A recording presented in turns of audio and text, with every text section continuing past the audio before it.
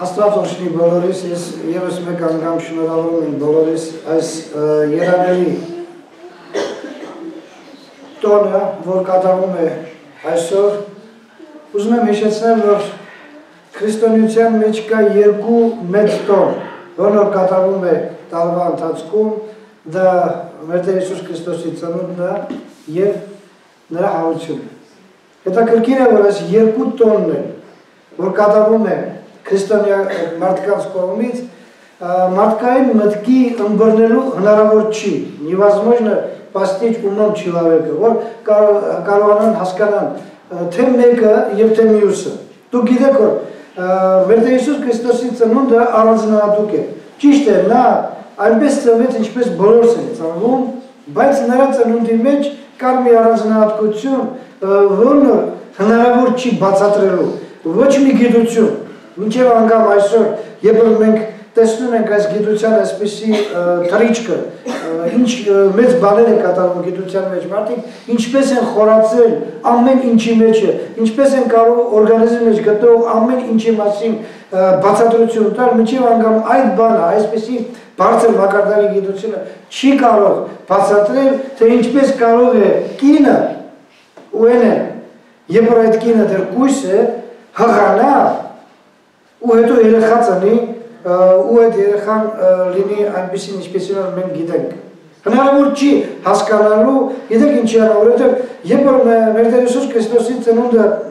հղացման ժամանակը մոտիկացավ, քիչ առաջ Միշան հիշեցրեց Գաղատասոս թղթի մեջը, Պողոս Արաքյալը մեզ ասում է, որ երբ որ ժամանակների լռումը եկավ, երբ որ եկավ այն մոմենտը, երբ որ Աստված իր խոստումը պետք է կատարեր, Գաբրիել հրեշտակապետին ուղարկեց, որպեսզի այն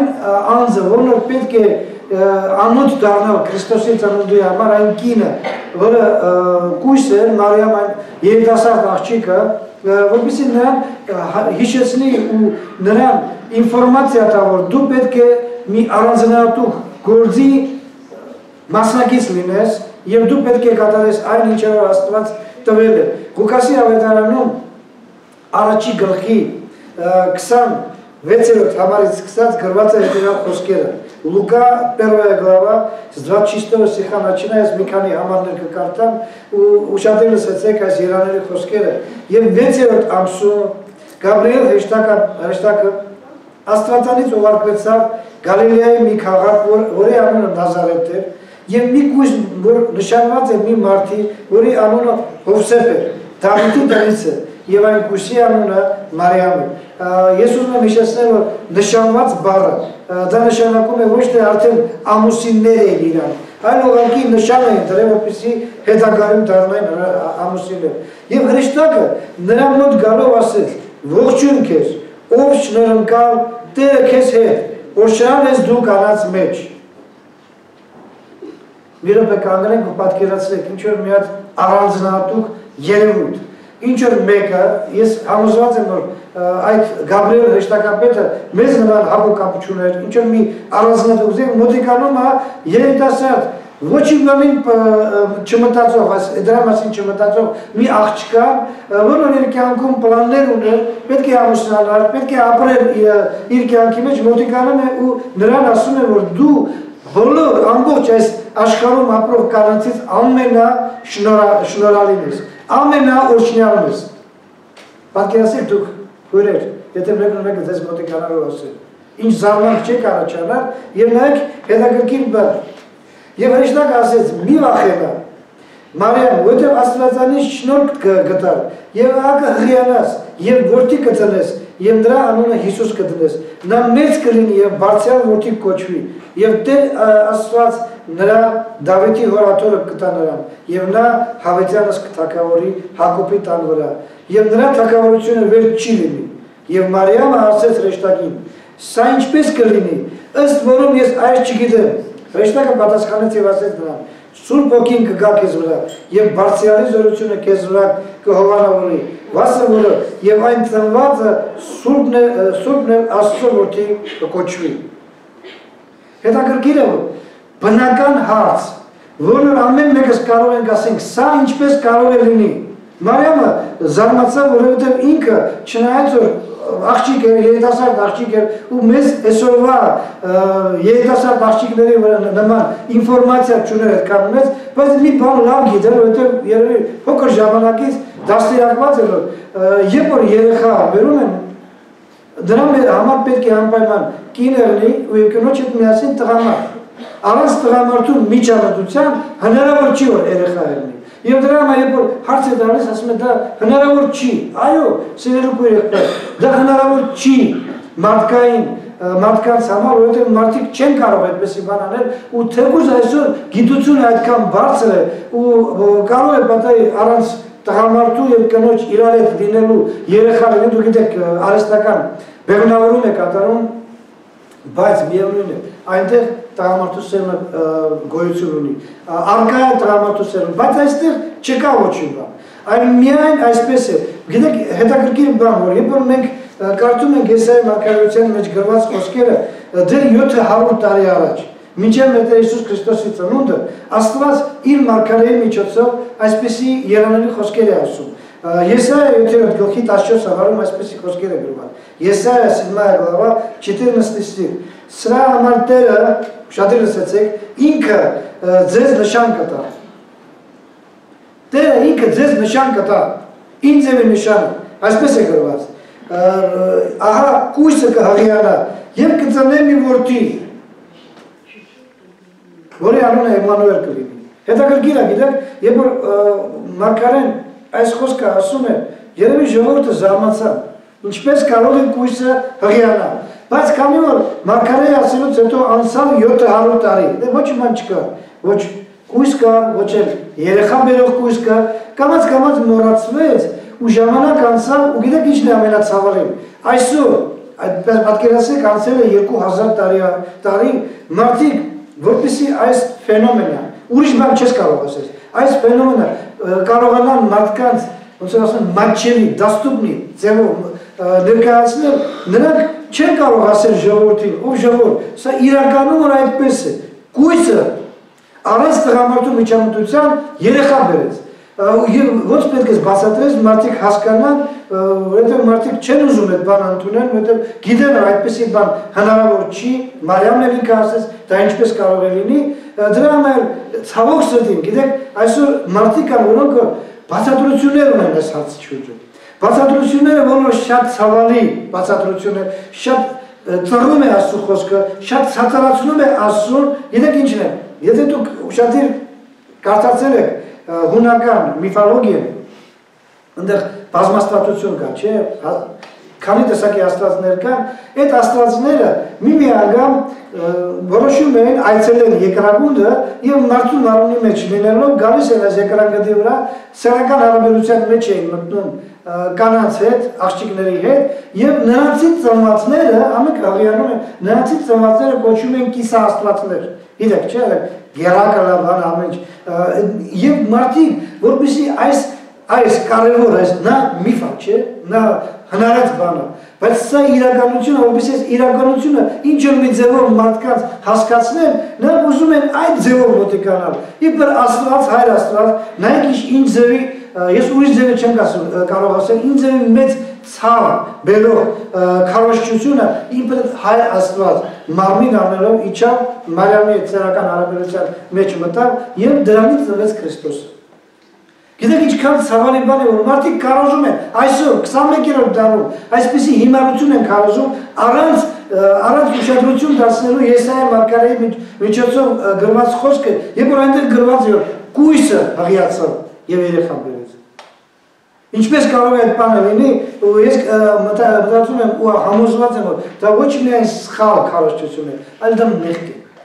Մեղք է, որովհետև մարդիկ չպետք է այդպես մտածեն, մարդիկ պետք է գիտենան այսպեսի մի բան, որ այն ինչը որ Քրիստոսի ծնունդի հետ է կախված, սա հնարավոր չի մարդկային մտքով հասնելու։ Ինչ է պետք սրա հավատք։ Հավատքով մոտիկանանք ու ասենք, Եթե մենք խոսում ենք աստվածային գաղափարի մասին, երբ որ խոսում ենք, որ դա աստված է անում, միթե աստծո համար անկարելի ինչ մի բան կա։ Միթե աստված չէ որ ոչինչից ինչ որ մենք այսօր տեսնում ենք, ստեղծեց այս ամեն ինչը։ Միթե աստված չէ որ այդ ստեղծվածից շինեց մի արցան։ Սենց ստատուետ կուզել մարդու չափի ինչ որ հողից չինես եւ նրա մեջ շունչ փչեց եւ այդ արցանը դրավ մարդ իր ամեն ֆունկցիաներով ինչ որ մենք տեսնում ենք ու գործում է մտածում է ամեն ինչ միթե աստված չէր այդ բանը անում եթե մենք կարող ենք վկայել ու ասել որ աստված կարող է ոչինչից առանց որևէ մի նյութ ունենալու, մատերիալ ունենալու, ինչ որ մի բան ստեղծել, որը ամբողջ տիեզերքն է, մոլորակները, պլանետի, զվյոզդի, աստղերը, արևը, լուսինը, մեսեց, ոնց էր ասում, լունա, եթե աստված կարողացավ այդ բանը ստեղծել ոչինչից, Միթե նրան հնարավոր չի, որպեսզի նա կարողանա առանց տղամարդու միջամտության կուրսին հրիացնի եւ դարձնի ծնի նրանից այն անձնավորությունը, որ նոր որ նոր Հիսուս Քրիստոսն է, որ դառավ մեզ համար փրկիչ եւ մենք նրա միջոցով ունենք հավիտենական կյանք փրկության համար։ Սիրելի քույր եղբայրներ, սիրելի բարեկամներ, Քրիստոսի ծնունդը հնարավոր չի բացատրել մարդկային մտքով։ Նա պետք է միայն հավատաս։ Հավատաս, որ դա այդպես է, որ ճիշտ կույսը հղիացավ, որ ճիշտ նա երեխա ունեցավ ու այդ երեխան դարավ հանուն աշխարհի փակիչը։ Գիտեք, որովհետեւ մենք կարողանանք մի քիչ ավելի խորը հասկանանք այս գաղափարների մասին, ես ուզում եմ երկու կարևոր հարցի շուրջը խոսալ ձեզ հետ միասին, վերջում էլ երրորդի մասին խոսալ, որովհետեւ դա շատ կարևոր է, բայց երկու հարցը այսպես են ինչու, ուշադրել եք։ Առաջինը, ինչպես կարելի է դա հասկանալ Ինչպես կարելի է դա հասկանալ։ Հիսուս Քրիստոսի ծնունդը ինչպես կարելի է։ Եթե հնարավոր չի գիտությամբ դա հասկանալ, եթե հնարավոր չի, եթե արդեն པարզ է որ դա ինչպես կարող է լինի, ինչպես կարող ենք հասկանալ ու երկրորդը, ինչու համար է դա կատարվելու։ Գիտեք, մենք երբ որ վկայում ենք, ուզում ենք այդ վկայությունը լինի ճիշտ, մենք շատ անգամ ուզում ենք մարդկանց համոզել ու ուզում ենք բացատրել մարդկանց այն ինչը որ անբացատրելի է։ Հնարավոր չի բացատրել։ Ուզում ենք բացատրել, սկսում ենք բաներ հնարել, սկսում ենք բաներ ասել, որ դրանով կարող ենք ինչ որ մի ձևով մարդկանց համոզել, բայց սիրելի գույեղբայր, սիրելի բարեկամ, եթե դու ուզում ես Քրիստոսի մասին ինչ որ մեկին վկայես, ու ինչ որ մեկին բացատրես, ու ինչ որ մեկին ասես, որ Քրիստոսը ծնվել է, պետք չի, որպեսզի դու կարողանաս այնպես անես, ինչպես որ ինչպես որ մի իմաստուն մարդ ձևացնես, որ ասես որ այ ես ինձ կասեմ որ մարդը կհասկանա որ այդպես է պետք չի դու միայն վկայի այն ինչ որ գրված է վկայի այն ինչ որ գրված է դու ասա որ Քրիստոսը այսպես ծնվեց մնացածը արդեն ամեն ինչ Աստված կանի այսօր մենք ո՞նց ենք հասկացել որ Քրիստոս ծնվեց կույսից ինչպես կարող ենք մենք համոզված ասել որ այո եւ ամին Ես համոզված եմ, որ յուրաքանչյուր մարդ, ով որ մեզանից վկայություն ստանալուց հետո հավատքով մոտեկացավ այդ հարցին, անպայման ինքն էլ նույն ձևի կասի, այո եւ ամին։ Պետք չի ուրիշ բան բացատրել, պետք չի ասել ինչ որ մի բան, որ մարդուն գոնե ինչ որ մի չափով հավատալի լինի։ Մենք գիտենք, որ ամեն ինչ Աստված է անում։ Պողոս Սարակյանը մի հատ կարևոր բան ասեց։ Ես ուզում եմ հիշեցնել եւս մի անգամ։ Մենք շատ անգամ նման ենք այն մարդուն, որը ուզում է ցանել որն ուզում է մշակել եւ որն ուզում է ինքը իր ուժով դուրս բերել բերքը, որն հնարավոր չի։ Ճիշտ է թե չէ։ Այ ես կարող եմ ցանել, ես կարող եմ մշակել, ջուր լցնել, հողը փխրեցնել, բայց իմ իշխանությունը դրանով վերջանում է։ Միայն Աստված կարող է աճեցնել։ Եվ ոչ միայն այն բերքը, որը մենք ուտում ենք մեր առօրյա կյանքի մեջ, այլ հոգևոր բերքի մեջն է Աստված է գործում։ Ու դրա համար մեզ որպես ավետարանիչներ, որպես քարոզիչներ, որպես վկայողներ, մեզ պետք է մի հատ կարևոր բան, որ ես գալիս եմ Տիրոջ առաջ կանգնում եմ ու ասում եմ Տեր, խնդրում եմ քեզ, որպեսզի իմ վկայությունը անհավատ մարդուն լինի այսպես, այնպես ինչպես որ դու ես ուզում։ Այնպես ինչպես որ կա։ Ու ես խնդրում եմ, որպեսզի դու նրան հասկացնես, թե ինչպես կարող է լինի այդ բանը, որ նա կարողանա հավատքով ընդունի եւ դա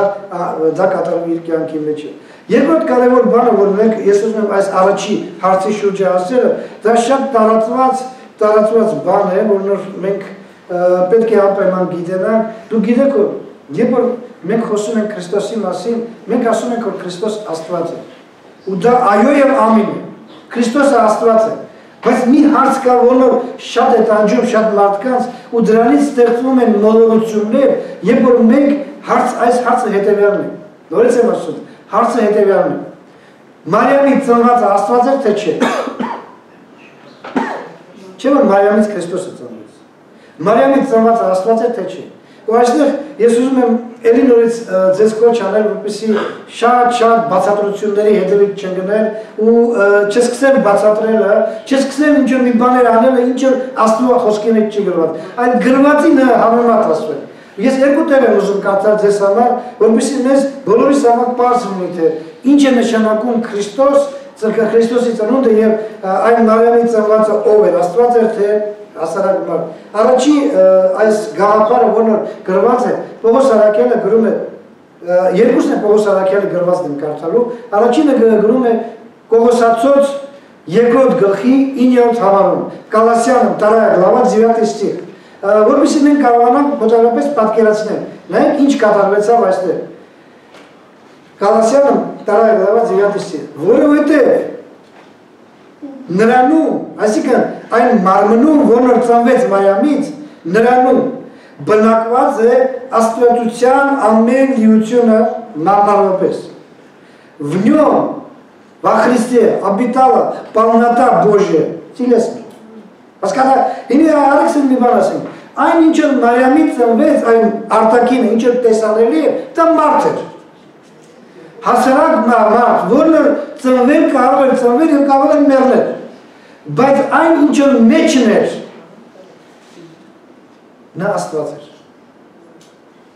Դրա համար երբ որ մենք խոսում ենք Քրիստոսի ծնունդի մասին եւ մեռնելու մասին, մենք լավ գիտենք որ Աստված ոչ ծնվել կարող է ոչ էլ մեռնել։ Աստված սկիզբ եւ վերջ չունի։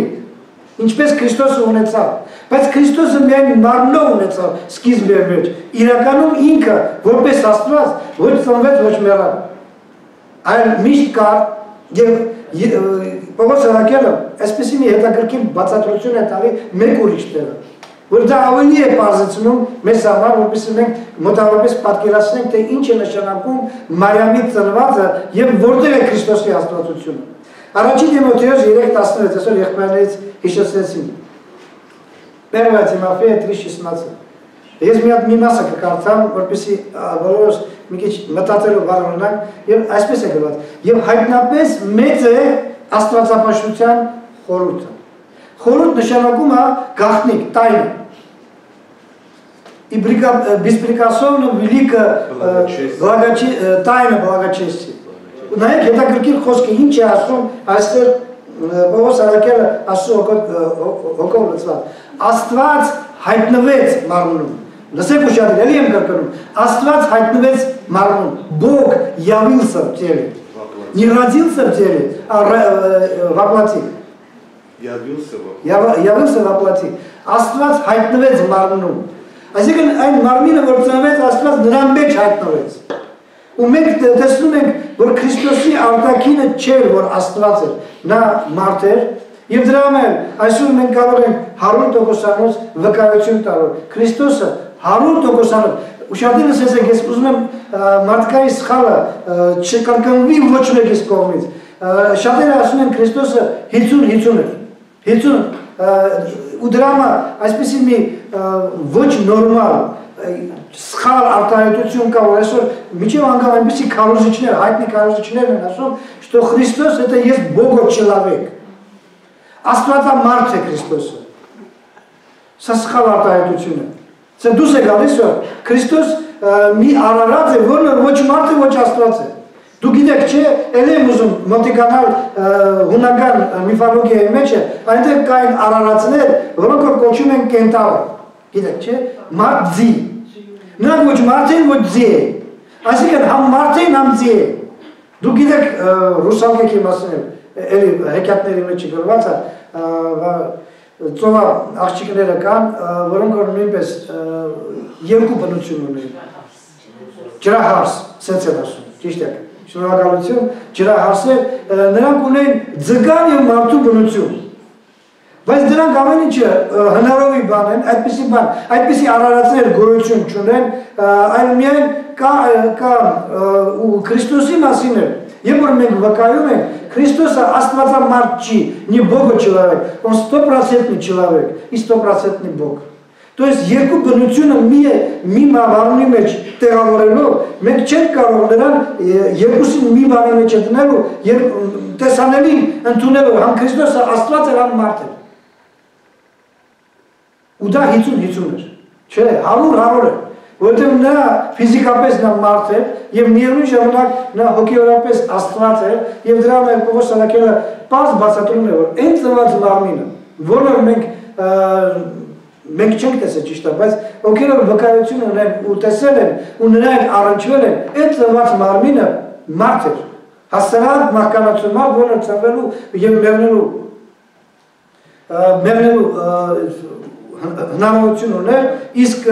միայն մի տարբերությունով, որ այդ մարմնի մեջ մեկ չկա, այն մենք լավ գիտենք ինչի համար, որտեղ այնտեղ չկա տղամարդու միջամտությունը, Աստված իր Սուրբ Հոգու միջոցով այդ բանը արեց, եւ երկրորդ կարևոր բանը, որ նրա մեջ, այդ մարմնի մեջ բնակվողը, այդ մարմնի մեջ այդ մարմինը առաջնորդողը Աստված է։ Ինչի արեց այդ բանը Աստված։ Դուք լավ գիտեք որ երբ որ Մովսեսը խոսում էր Աստծո հետ ու խնդրում էր Աստծո ով Աստված, այսքան դու ինձ մոտիկ ես, այսքան լավ իր այդ մոտիկ ենք, իր այդ խոսում ենք, 40 օր այնտեղ սանի գլխին Աստծո հետ զրույցներ էր անում։ Պատկերացեք, այդ մարդ գոյություն չունի որ Աստված նրա հետ 40 օր խոսավ։ Եվ Մովսեսը խնդրեց, գոնե մի անգամ ցույց տուք ես։ Այսքան բանը իրար հետ խոսացել են, մի անգամ ցույց տու ինձ Եվ Աստված հիշում եք ինչ ասեց, ասում է, չի կարող մարդը աստուն տեսնել ու կենթանի մնալ։ Չի կարող մարդը։ Երբ որ մենք տեսնում ենք հրեա ժողովրդին եւ այն Սինա սարի մոտ կանգնած վիճակը, երբ որ Աստված հավաքեց Սինա սարի մոտ, Սուրբ սարի մոտ եւ նա սկսեց խոսալը ժողովուրդը ինչ էին լսում, հիշում եք, չէ՞։ Լսում էին որոտունքներ, ուժեղ ձայներ եւ նրանք ասեցին, Մոսես, ու ասում ասա որ դու դու խոսա ավելի լավ, թող Աստված չխոսա, որովհետեւ մեկ ոչինչ չեն կարող հասկանալ։ Այնքան վախ, այնքան ուժեղ ձայն կար, ասում ձայնը որ մարդիկ ոչ թե բարեր էին ջոգում, այլ միայն են ուժեղ ձեներ, որից վախից կուչ է կացել։ Ու Աստված որպեսի մարդկանց համար մատչելի լինի, որպեսի մարդկանց հետ ունենա առնչություն որպեսի այսօր ինքը ապացուցի, որ իր պատվիրանքների սկզբնախմյուրը ու սկզբնակ գործողը ինքն է, գիտեք երբ որ Աստված ասում է սիրեցեք, ինքը սկզբից այդ բանը արեց։ Հիշում եք չէ մենք խոսացինք նաև թշնամիների սիրելու մասին։ Երբ որ Աստված պատվիրանք տվեց որ սիրեցեք ձեր թշնամիներին, ու ինքը առաջինը կատարեց այդ բանը։ Երբ որ մենք կարդում ենք Աստվածաշնչի մեջ, քիչ հետո էթիկը նորից կհիշեցնենք, երբ որ մենք դեռ մեղավոր էինք, Աստված իր որդին ուղարկեց մեզ իկավություն մեր մեղքերի համար։ Նա մեռավ մեզ համար, որպեսզի մենք հավիտենական կյանք ունենանք։ Երբ որ մենք մեղավոր ենք, այսինքն երբ որ մենք թշնամի ենք, Աստված արդեն սիրեց մեզի եւ իր միածին որդուն տվեց, որպեսզի մենք հավիտենական կյանք ունենանք, չկորչենք, այլ հավիտենական կյանք ունենանք։ Սա շատ կարևոր գաղափար է սիրելի քույրեր, որպեսզի Աստված նորից եւ նորից ապացուցի, որ ինքը նա է, որ նոր սիրում է ինքը նաև ոնոր ոնոր սիրում է ոչ թե արժանիին որ դու մենք լավն ենք դրա մեջ սիրում է այլ անարժաններին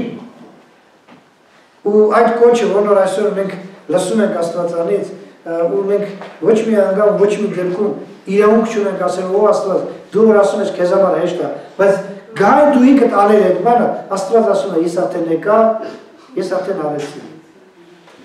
Ես արդեն եկա, ես արդեն արեցի։ Հիսուս Քրիստոսի միջոցով Աստված արեց այն, ինչ է որ այսօր ուզում է որպեսի մենք ելանանք այդ բանը։ Առաջի երթին մենք մեր մեջը, այս հոգևոր ընտանիքի մեջը, հետո ընտանիքից դուրս։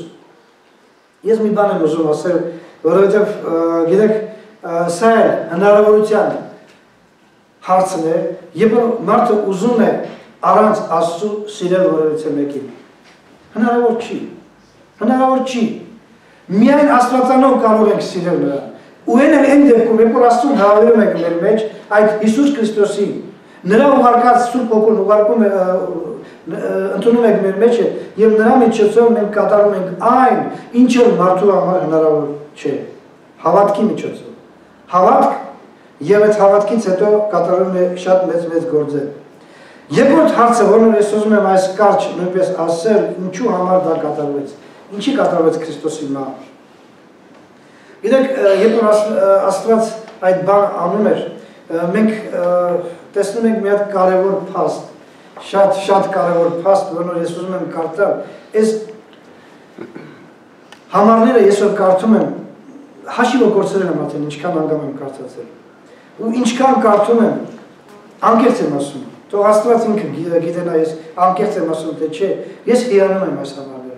Հիանում եմ, գիտեք ինչի համար, որովհետև Աստված, որ ով էր, ես հատել գոնե մոտավորապես պատկերացում ունեմ Աստծո մասին, ով է Աստված։ Ինչ է իրենց ներկայացնում ու հետո էլ սկսում եմ մտածել, թե Աստված մի օր ինչ արեց ու սկսում եմ խորանալ այդ գաղափարի մեջ, ինձ համար գիտեք մի տեսակ վախ է առաջանում, որ ես այսօր չնայած որ արդեն հավատացել եմ ամենակարող Աստծուն, արդեն ընդունել եմ իրան, ինչքանով ես կարող եմ գնահատող լինել դրա, այդ իր արած գործի համար իր արած գործի համար, ոչ թե համար, որ ինքը մի օր ինձ ֆիզիկապես ծանեց այս աշխարհում, Որովհետև դուք լավ գիտեք, որ եթե Աստված չուզենար, ոչ մեկս չենք ծնվի։ Ինչքան էլ ուզում եմ մամաները, papaները իր այդ ինչը ինչ ասես անեն, մենք չենք ծնվի։ Աստծո հաճությամբ ծնվեցինք, Աստծո կամքով ծնվեցինք։ Ոչ թե միայն դա, այլ միլիարդավոր մարդկանց մեջ դուք պատկերացեք այսօր ինչքան մարդիկ կան աշխարհի երեսին, որոնք որ հեչ պետք չէ իրանց համար Քրիստոս ծնվել, աչի ծնվել, Նրանց համար Քրիստոսի ծնունդը տոնելը միայն ոնց ասում հերթական կերպ անելու միջոց է։ Հերթական, այ մի հատ առիթ է պետք, Քրիստոս ծնվեց, արեք իրար նստենք կոդենք խմենք։ Ուրիշ ոչինչ բան, առիթ եւ ուրիշ ոչինչ բան, ինչպես ժամանակին Քրիստոսին չընդունեցին, այնպես էլ այսօր չեն ընդունում մարդիկ Քրիստոսին։ Բայց միևնույն դեպքում դու գիտեք որ աշխարհում եք տարածված է ռաժիստոն մարդիկ նոր տարին ուրիշ տեղեր, մենակ ես սովետական միության երկրներով է որ նոր տարին առավելություն են դնում Քրիստոսի ծնունդին։ Ուրիշ տեղ նոր տարին ունեն սեն իմիջալոցը, գլխավորը Քրիստոսի ծնունդն է։ Իրար նվերներ են տալի, ուրախանում են, քեփ են անում, այս յոգեկ են դնում, տոնատարներ են դնում։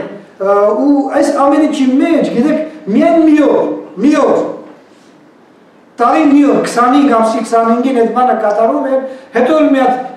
հարության տոն են կատարում, որ իրանք միջև անգամ չգիտեն դա ինչ է, զատիկ են անվանում ու ունդեղ էլի բաներ են անում ու դրանով սահմանափակում են հենց հավատքի վիճակը գնահատելով Քրիստոսի առած գործողությունը այնքան ինչքան որ կա։ Այ էս է Քրիստոսի առած գործողությունը։ Բայց իրականում, սիրելի քույր, տեսեք, ինչ է ասում Աստծո խոսքը Պողոս Արաքյալը Ես համոզված եմ, որ Պողոս Սահակյանի ասածը ավելի սետ ասենք, աղքատիկ բացատրություն է, բայց այնքան համոզիչ, այնքան լուրջ, որ մարդը միայն այս համաները կարդալով կարող է ուրախություն ունենալ եւ մի քիչ էլ վախ, որ ինչքանով է ինքը գնահատում։ Ֆիլիպեցոց երկրորդ գլուխ 5-րդ համարից սկսած Ֆիլիպիցն вторая глава с 5 стиха начиная Ես համոզված եմ, որ եթե դուք տունը կարդաք, ով ռուսերեն կարդա, ով ինչ լեզվով էլ կկարդա, մի քիչ խորացեք ու տեսեք ինչի ասում Աստված։ Ձեր ամեն մեկը թող այն մտածի, որ Քրիստոս Հիսուսումն է որ Աստծո կերպարանքում լինելով, պատկերացրեք ինքը Աստված լինելով, երկինք եւ երկինք ստեղծող Աստված, որ ամեն ինչ իր ձերքի գործն է, ու ինքն է կառավարում Աստծո կերպարանքում լինելով, հապշտակություն չհամարեց Աստծուն հավասար լինել, այլ իր անձը ունայնացրեց։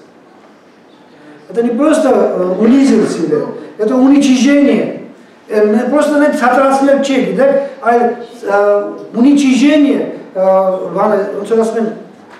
ստեղ գրված է ունայնություն, ունայնություն այսինքն ոչնչացրեց իր իր անձը։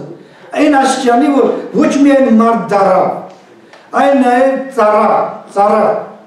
ոչ միայն եկավ այստեղ այս աշխարհի մեջ ամենաբարձր խավի դասի մեջ է, թակավոր դարավստեղ, մինչև մի տեսակ թակավորների թակավոր։ Այլ նաև հասարակ ընտանիքի մեջ ծնվեց ու դուք գիտեք որ երբ որ նա ծնվեց, ընդդեմ գրված է Երբ որ եկան Հովսեփը Մարիամի հետ այնտեղ, որտեղ որ նրանք պետք է լինեին, ու ման եկան, որպեսզի ինչ-որ մի տեղ գտնեին, չգտան։ Տեղ չկար։ Քրիստոս ծնվեց անասունների փառախորը։ Նորից եմ ասում, Ինչպես Քրիստոսը այն ժամանակ տեղ չգտնվեցավ ծանվելու համար, այնպես էլ այսօր մարդկանց մեջ տեղ չի կարող գտնել։ Թղկացնում է, խնդրում է, բացարեք, բայց մարդիկ չեն բացանում։ Ինչի, որովհետև այս աշխարհը ավելի սիրեցին։ Այդ իր անձը ունայնացրեց եւ ծառայի կերպարանքը առնելով մարդկaz նման լինելով եւ կերպարանքով մարդի պես գտնելով իրան խոնարեցրեց եւ հնազանդ եղավ մինչեւ իմ մահ։ Ուենը խաչիմա Խայտարակ խաչիմա։ Հետաքրքիր է, չէ՞։ Երբ որ այսօր մենք տեսնում ենք շատ մարդկանց, ում որ ցածրացնում են, ում որ ունայնացնում են, կամ ունիժայոտ, կամ ունիչիժայոտ,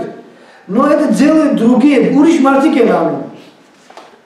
Ուրիշ ոչ ոք իր համաձայնությունով չի ասում, գիտեք ժողովուրդ, արեք ինձի ցածրացրեք, արեք ինձի քցեք, արեք ինձի ունայնացրեք։ Ընդհակառակը Մարդիկ փախչում են դրանից։ Շատ անգամ չի ստացվում։ Խայտարակություններ անում։ Այսպես ասած, երբ որ մենք ունայնություն բառը ասում ենք, խայտարակության հետ կախված մի բան է։ Աստված, որ մի քիչ ավելի լավ ասենք, ավելի པարզ ասենք, Աստված ինքը իրան խայտարակեց։ Ինչի համար խայտարակեց։ Որ մեզ կարողանա մեղքից դուրս բերել որ մեզ կարողա կարողանա հավիտենական կյանք ապարգևել, հավիտենական կորոշտից անել։ Ուսներ գիտեք, հետաքրքիր մի հատ հարց կա հետաքրքիր հան, արդ, որն որ շատ-շատ կարևոր բան է։ Ես ուզում եմ ուղղակի հարց տալ ինձ էլ ձեզ էլ, որպեսզի ամեն մեկս այսօր այդ տեսեք Ատյոնն էլ Միշանել այսօր վկայություն տվեցին ու մեզ կոչ արեցին, որպեսզի մենք մտածենք մեր կյանքի մասին։ Այսօր եկեք մտածենք լինելով այս կյանքի մեջը, գիտենալով Քրիստոսի ծնունդի ծնունդի մասին ու ոչ միայն գիտենալով, այլ նաև գիտենալով թե Աստված ինչից ազատեց մեզ։ Ուր էին գնում եւ ինչ որտեղից որտեղից ազատեց մեզ, մենք արեք հաստատ ինչքանով ենք մենք գնահատում մեր ամենակարող Աստծուն։ Ինչքանով ենք մենք գնահատում։ Ինչպես ենք մենք գնահատում։ Մեր գնահատականը փողով չի, իրեք Աստված Աստծուն հնարավոր չի փողով գնահատել։ Այս Աստծուն մի միլիարդ կամ ես եմ հազար միլիարդ կամ ինչ որ 6 միլիարդ, ինչքան անուններ կա կարող զորներ ավելացնել, այդքան եմ գնահատում։ Սա խոսքեր են միայն։ Աստված չի ուզում մեր խոսքերը։ Նա պետք չի մեր խոսքերը, նա պետք է մեր գործը։ Նա պետք Աստծուն պետք է մեր գործը, Աստծուն գնահատում է ոչ թե խոսքով, այլ գործով, ու մեր կյանքը պետք է ապացուցի, թե ինչքանով ենք մենք գնահատում Աստծուն։ Մեր կյանքը ոչ թե շաբաթը մի անգամ եկեղեցի գալով կամ ինչ որ մի ժամանակ ինչ որ մի բան անելով որ ասենք հա եկա ես ապաշխարեցի մկրտվեցի հերիք չի հերիք չի դրանով գնահատեմ ասում Աստված ասում է որ հերիք չի Աստված ասում է որ ինքը երբ որ եկավ այս կյանքի մեջ ինքը կարող է ուղղակի ծնվել եւ վերջ կամ թե չէ ծնվեց ապրել միտեղ, միտեղ, միտեղ լավ տեղ ապրել, ինքը արժանի չէ թակավորական պալատներում ապրել ու հետո վերջ Կամ հետո վերջի արդեն վերջի ժամանակ ասպարեզ դուրս գալու համար մի կես ժամով գնալ խաչի վրա մեռնել ու վերջ։ Բայց մենք գիտենք որ այդեն չեղավ։ Նա ծնվեց անասունների փառախում։ Նա մեծացավ ամենացածր խավի մարդկանց մեջը։ Այն ժամանակ դուրգարները հյուսն, դուրգարը, պլոտնիկները ապրում են շատ խեղճ, հազիվ են ծերը ծերին հասցնում։ Դուք պատկերացրեք ամենակարող Աստված, երկինք եւ երկինք ստեղծող, ամեն ինչ իր ձեռքին է, ու ինքը հազիվ է ծերը ծերին հասցնում, որպեսզի ինչ որ մի ուտելու բան ճարել իր ու իր ընտանիքի համար, որ ինչ որ մի ձևով կարողանային ապրել։ Հերիք ջետա է որ ասես սկսեց ծառայել։ Ինչ լավ է չէ, որ դու ծառայում ես ու այդ քո ծառայության արդյունքը մարդիկ տեսնում են հրաշքներ, մարդկանց բժշկություն, մարդկանց ուտացնելը, մարդկանց ճշմարտությունը քարոզելը ու ինչ է սպասվում, որ մարդիկ գոնե շնորհակալ են իրան։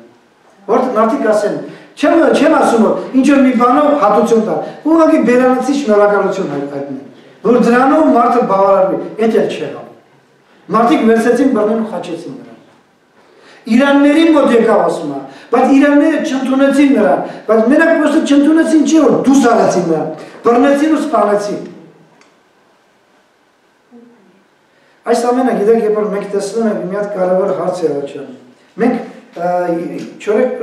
ներողություն, ուրբաթ օրը երիտասարդական ժողով ունենք, մի փոքր խումբ հավաքվեցին եւ այնտեղ խոսացինք մի բանի մասին ու հարց առաջացավ։ Ինչպես կարող է մարդը, որոնք մկրտված մարդը, ճշմարիտ հավատացյալը, որոնք ինքը վկայում է, ինքը ճշմարիտ հավատացյալ է, ինքը մկրտված, ինքը եկեղեցու անդամ, ինքը Տիրոջ զավակ, ինչպես կարող է լինել Տիրոջ զավակ եւ փափակ չունենալ ծառայել այդ Տիրոջը։ Ինչպես կարող է բանը։ Կամ կարող է թե չէ։ Հարց, այս ես ասացի, երկու հարցին պատասխանեցինք, հիմի վերջի երրորդ հարցը։ Ինչպես կարող է մարդը լինել Տիրոջ զավակ, գիտելով այսքան բանը, ինչքան որ մենք հիմի խոսացինք։ Ես ոչ մի բան նորություն չասացի։ Ամեն ինչ գրված է, ամեն ինչ բոլորս լավ գիտեն, շատ անգամ լսել են, ինքներս կարդացել են, ինքներս վկայել են միջև անգամ։ Ինչպես կարող է մարդը ունենալով այսքան բազա գիտության ու այսքան գործողություն ասու ասու գործողությունը իր վրա իր մեջ փափակ չունենա ծառայելու այդ ամենակարող ասուն ինչն է որ մենք մի անգամ դրա մասին քարոստվեցինք ինչն է որ մաքսիմումն է ինչ որ կարող է մարդը փող հատուցում տա տիրոջ արած գործողության համար ուզում եք ռուսերեն ասեմ որ ավելի պատ что есть максимум что человек может воздать за дело которое Бог сделал за человека Զամեն։ Այ ինչ որ ես կարող եմ մաքսիմում անել, որ ես կարողանամ Աստծուն գոնե ոչ թե միայն բերանացի, այլ ուղղակի շնորհակալություն հայտնել գործով, իմ ծառայությունը ինչպես կարող է մարդը այդ բանը չանել։ Իմ պատասխանը հետևյալն է։ Այդ մարդը հավատացել չի։ Այդ մարդը չի ճաշակել։ Գիտեք, ճանաչել просто узнать информацию получить. Եվ Ուսից вкусить, это другое, разные вещи։ Երբ որ մարդը ինֆորմացիա է ստանում ու ճաշակում է, նայեք, դրված է մի հատ շատ համով հոտով մի հատ ճաշ է դրած։ Որ հոտը գալիս է, հոտը չես կարող կշտալ, ասում ես ինչ համով բան։ Բայց իրականում համով կեղնի այն ժամանակ, երբ որ դու գդալը գվեսես կփորձես ու կասես, այ իսկական համով է իմի։ Թե չէ, հոտով կարող է բացայ դու, հոտով կարող է ասես համով է, բայց ուտելով չկարողանաս ուտես այդ բանը։ Քրիստոսին շատ մարդիկ միայն հոտով են ճանաչում։ Հա, գիտան էլ որ Քրիստոս կա։ Հետո ինֆորմացիա ունես, եկա գիրկա, բայց այնքան ինֆորմացիա տալիս, որ դրանով բավական է որ ես գիտենամ որ Քրիստոս կա, նա Աստված է եւ ես նրան մատաղ եմ, ինչպես շատ են ասում։ Բայց իրականում Քրիստոսը ինքը եղավ մեզանան մատաղ։ Ու որպեսզի մենք այդ մատաղի միջոցով կարողանանք հավիտենական կյանք ունենալ։ Ու այսօր ես ուզում եմ մի կոչ անել։ Նրանք ովքեր որ հավատքի մեջ են ու արդեն Տիրոջը ընդունել են իրաց մեջ։ Քննենք մեր կյանքը։ Այսօր շատ-շատ հնարավորություններ կա։ Վաղը կարող է չեղնել։ Մի օր դուրը կփակվի ապայման։ Ու դա անից անից միամիտ տեղը կերնի, անից շուտ կերնի որ շատ մարդիկ չեն հասնի ոչինչ անել։ Իցունեք, չէ, 5-ը հիմար եւ 5-ը խելացի կույսերի մասին այն կույսերը, որոնք որ չունեն լապտեր, լապտերի մեջ են յուղը ու գնացին մանգալու, ինչքան ժամանակ մանեկան, եկան դուրը փակ տեսան։ Թղկծրին, խնդրեցին, աստված բացարես դուրը, չէ, ասեց վсё, ժամանակը վերջացել է։ Այդ ժամանակ անեն շուտ կարող է վերջանա, որ մինչև անգամ նա հոնոր այս կյանքի մեջ ապրել է, ընդունել է Քրիստոսին, ճաշակել է իբր թե Քրիստոսին, բայց իրականում նրա համ ու լազատը չգիտե, նա միայն հոտով է Քրիստոսին ճանաչում, մի օր պետք է վայ ասի, բայց այդ վայի համար դրստում չի եղել։ Իսկ նրանք ովքեր դեր լրիվ չեն ճանաչ ընդունել Քրիստոսին ու չգիտեն չեն զգացել Քրիստոսի ներկայությունը իրաց մեջ։ Այսօր եւս մի անգամ մեր կողմից կոչ դեր ուշ չի, դեր ժամանակ կա, դեր Աստված իր շնորհքի դարաշրջանը պահպանում է։ Ոչ բան պետք չի շատ մեծ բան։ Պետք է ուղղակի խոնարհվել Տիրոջ առաջ եւ ասել. Տեր, ես մեղավոր եմ։ Եվ միայն քո կարիքը ունեմ։ Գիտեք Աստված ինչ ուրախություն կունի։ Ինչ ուրախություն Աստծո խոսքի մեջ ասում է, երբ մի մարդ որնոր գալիս է դեպի Աստված, երկնքում միլիարդավոր հրեշտակները ցնծում են։ Մի մարդ 7 միլիարդից մի մարդ գալիս է դեպի Աստված եւ ընդ երկնքում երևի դրանից մի 10 անգամ ավելի շատ հրեշտակները ցանցում են, ուրախանում են։ Տերը թող բոլորիս օրհնի։ Այսօրվա մեր օրը, այս տոնական օրը, ճիշտ տոնական օրը ամեն մեկի համար, որ երբ որ հաստատես քեզի, դու ուրախ ես, որ Քրիստոսը ծնվեց, դու կարողանաս ոչ թե ուղղակի ասես, հա, սենց, հա, այլ այո, այո ես ուրախ եմ, որովհետև այս ծնունդը ինձ բերել է հավիտենական կյանքի հնարավորություն։ Տերը ոչ բոլորս։ Ամին։ Երեք բոլորս